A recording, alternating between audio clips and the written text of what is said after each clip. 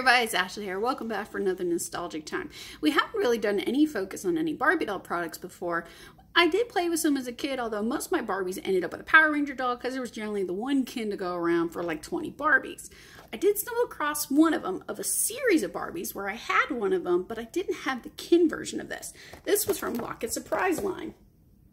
That's right, from 1994. They had three that came out with it, of course. You had Barbie, whose, believe it or not, chest opened up to store makeup or a picture in it. So it was a little awkward that it did that. And then, of course, she had her friend Tamara. I had Tamara, and one of my sisters had the Barbie. We just never had Ken. And I love the explanation they give on the back of it, where they say Ken just had the coolest clothes. I'm just looking at these like, huh, these are very unique clothing, but I mean, you know, maybe Ken was going out in the night in the town. I don't know. Was just a thing. But a lot of these had like a little makeup or a fragrance that you could actually use as a kid.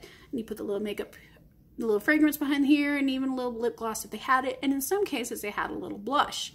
So it was kind of neat. Although with this being from 1994, I would not recommend just, you know, taking out the makeup or fragrance and putting that on because it may not be healthy or safe from this time period.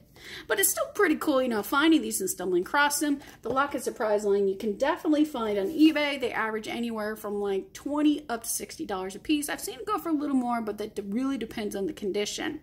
But they were still pretty cool dolls. Just a little weird that the chest and like the females were just open up, you know, and you shove stuff in there. It was just awkward. But Ken himself was kind of cool. He just knew how to give the right gifts to Barbie, of course. And I'll catch you guys next time for another nostalgic time. Don't forget to hit me up. I got a lot more nostalgic stuff coming your way.